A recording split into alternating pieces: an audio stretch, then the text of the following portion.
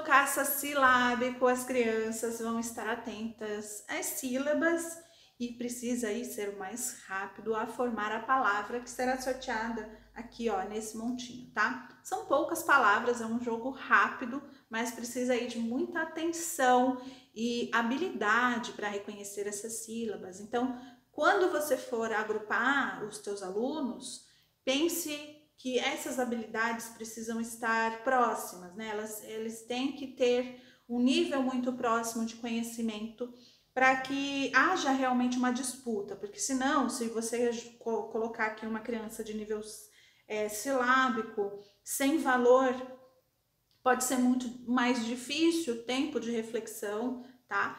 E para uma criança que está no nível silábico alfabético, por exemplo, vai ser bem mais fácil e ela vai ter mais sucesso no jogo, né? E, e sempre vai ser o vencedor. Isso não é interessante, pode desmotivar a, o outro participante. Então é preciso bastante cuidado nesse sentido na hora de escolher quem vai jogar. Agora, se for você e o teu aluno no atendimento particular, aí você pode fazer com que ele tenha um pouco mais de sorte para que ele possa refletir sobre essas palavras ou não. Pode disputar de igual para igual se for no nível alfabético. Vamos lá? Então eu vou sortear aqui, ó. E quando eu virar os dois ao mesmo tempo, vão, vão procurar essas sílabas, tá? Os dois participantes. Um, dois, três, já! Marquei. ó, aí confere. Coro, já. Marcou certinho, ó. Ali faltou um, pouco, tá? Então, eu vou fazer o quê? Vou acumular essa carta, vou ficar com ela aqui do lado para contar quantas eu vou conseguir marcar durante o jogo.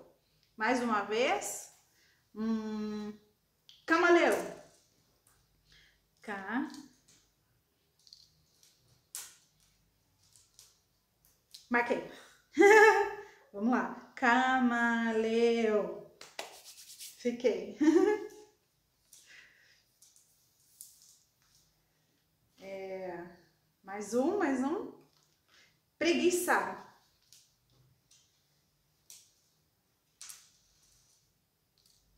Marcou? Uhum.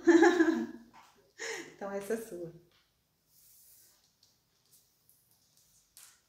Vamos lá. Galinha. Hum.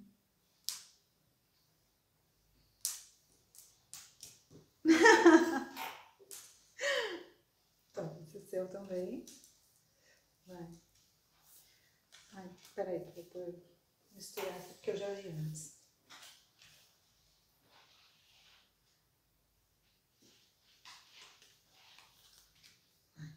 Um, dois, três, já. Senta. Ih, saiu a mesma.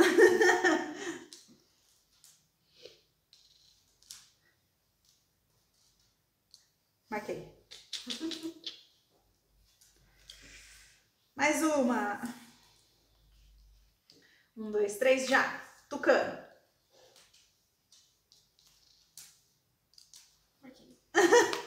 Sua. Ai, essa agora acho que vai para o desempate, né? Uhum. Vai. É, já. Borboleta.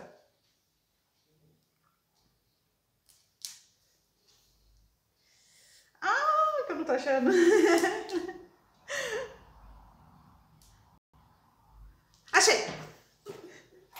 Ó, borboleta.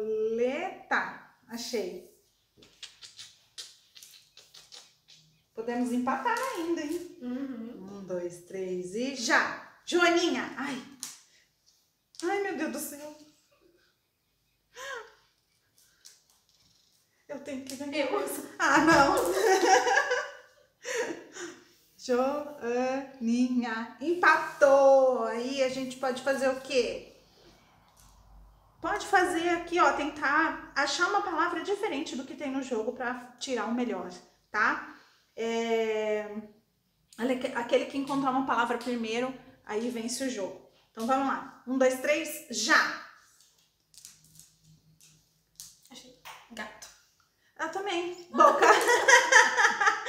Agora tem que ser uma palavra com três letras. Será que dá? Hum. Vai, vamos lá. As duas achou ao mesmo tempo. Outra palavra. É... Já. Achei. Mata. Mata. Aqui, ó. Mata. Consegui! Também. certo? É isso. Uh, caso você não queira criar outras palavras usando as sílabas do jogo, tira uma cartinha aqui, ó, tá? Para não ficar caindo sempre. Uh, como fala? Para não cair empate, tá? Assim você consegue controlar melhor essa questão de empate. Agora, se for jogar com todas elas, pode ser que isso aconteça e aí essa é uma maneira de desempatar ou tirar o melhor de três. Aí joga com as oito cartas, faz três vezes e vê quem conseguiu preencher ou ficar com a maior quantidade de cartas até o final do jogo nesse melhor de três, certo? Esse é o caça silábico. Na próxima aula a gente vai ver outro jogo.